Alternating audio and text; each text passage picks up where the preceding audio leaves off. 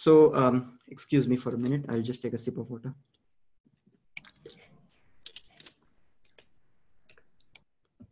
Okay, so um, let's talk about flatness.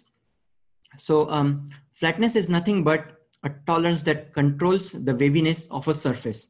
So I have a surface, something like this. In CAD, it will look perfectly a plain line like this, but in reality, it's never a plain line. It always has some kind of waves like this, okay? And uh, as a GD&T engineer, I have to control the flatness. I have to make sure that the part is perfectly plain so that it attach perfectly to the other mating part. Now the suppliers are very tricky and if you don't give any flatness, they will just give any part which has, which, which the surface finish is something like this. I don't want this. I want this surface to be perfectly plain. But hey, nothing is perfect in this world. Everything has imperfections. So this part also has an imperfection. So what I would say is, that's fine. It's okay. You have imperfections in your surface. I want the imperfections to lie between two parallel planes of 0.25 millimeter. So the symbol donated is something like this, flatness 0.25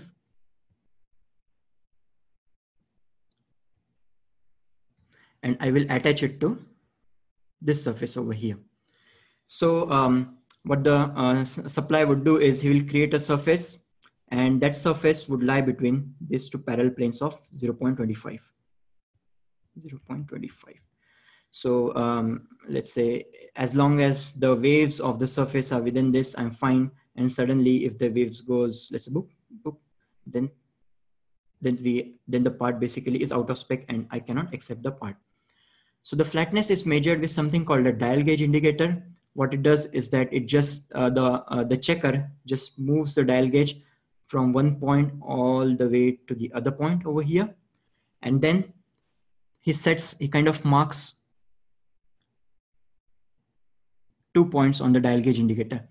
And as long as while moving the dial gauge indicator on the surface the pin of the dial gauge indicator falls in between these two marks then the part is okay if the pin falls out of those marks then the part is out of spec and hence I cannot accept it. So uh, for a machining surface, uh, like I said, the uh, flatness 0.25 is perfectly okay. And you can call this out 0.25 on any surface without having any additional cost to the part. But then if you call something like 0.01, then it will dramatically increase the cost to your part. And then your manager will come behind you and ask, why do you have to give such a tight flatness? So for normal parts, 0.25, perfectly okay and then it is generally given to the primary datum. So, excuse me, let me just clean this up. Uh, so in the meantime, I'll just, uh, you know, ask, go over some questions. Mm -hmm. So first question is from Samir Gupta. As a design engineer, uh, should a person uh, know the tolerance of every feature or is it something that the industry will provide us? Uh, right. So um, again, the industry will provide us when you go into the company, start working in the company. Um, within a few days, you will go through. Okay, let me give you my example.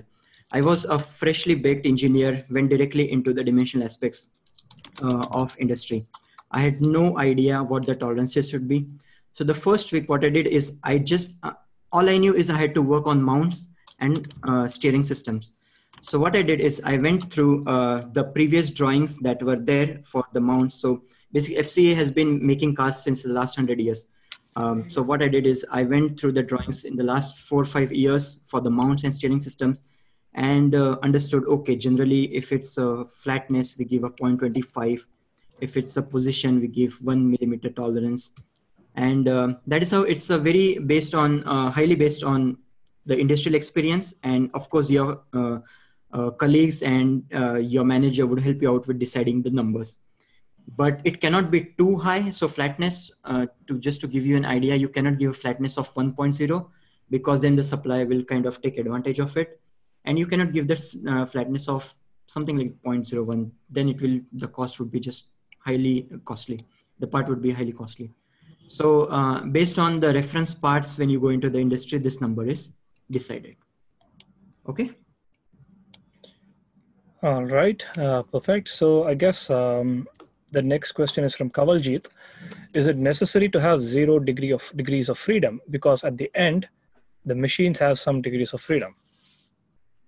Right. Again, it depends on part to part. Um, uh, you are right, Kawaljit. Uh, there are some parts which doesn't need to have, you doesn't need to construct all six degrees of freedom. Um, let me give you an example. So um, let's say I have a rod over here, okay? And I have a sleeve over here. Oops, I'm sorry.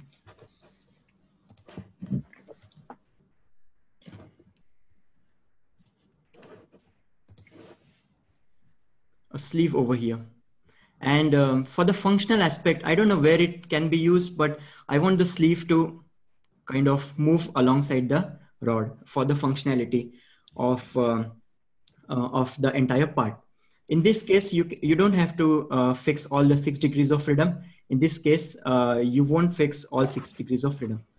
But if it's a rigid part, um, for example, let's say I'm attaching a bracket to a transmission. In this case, I don't want the bracket to move. So uh, basically, once I torque all these four bolts, I don't want the bracket to move in any direction. In this case, you have to constrain all six degrees of freedom. Again, it's based on the functional aspects of the part. Uh, in this lecture, we are just going with a, a, very simple bracket that needs to be attached to another uh, fixture. So uh, I said that we need to constrain six degrees of freedom. But yes, in real life, based on the function, you don't need to constrain all six degrees of freedom. Okay. All right. Uh, thank you so much. So we have uh, two more questions, actually mm-hmm. three more. So one is from Rahul J. Is surface tolerance defined in feature controlled frames? Uh, so surface tolerance in the sense uh, profile of a surface, I believe that's what uh, you're asking. So uh, in the next uh, fourth slide, I have called out profile of a surface tolerance, and I'm going to talk about profile of surface tolerance. But to give you an idea uh, how a profile of a surface called out, it's called out with a symbol, something like this. Okay, so this is for this uh, symbol over here is for the position tolerance. And this symbol over here is for surface profile or profile of a surface. Both mean the same thing. Okay. All right. So final question for uh, the second Q&A session is from Ajay what mm-hmm. type of symbols are used for weldment and sheet metal parts uh, especially for bending I, I, guess he's talking about bending mm-hmm. and uh, for weldment and sheet metal parts what type of symbols are used? Okay so uh, the thing is uh, again there are 14 symbols that we have in gd&t and either of these are used in uh, weldment either it's in weldment or it's a sheet metal these 14 symbols are universal. They can be used to any part you want. And based on the functionality of the part, you can pick any of this. So, okay, if you want the, uh, so if let's say you have a plate like this, and then um, you're going to create a bending operation along this axis. So in the end, you will have a plate which looks something like this. And then you need to control, uh, let's say, the surface over here you can just give a flatness of whatever the value you want and that's fine. So this 14 symbol are universal and they can be used for any manufacturing operations you want. Okay. All right. Uh, okay, Prasad. So you can continue and we'll have just one last Q&A towards the end. Okay. Absolutely. Thank you, Sarah. All right. Uh, guys, uh, so please, uh, you know, pay attention to the presentation. And again, we really like the questions that we're getting. So we'll have one more Q&A session towards the end. So if you have any loaded question, just wait and then ask them.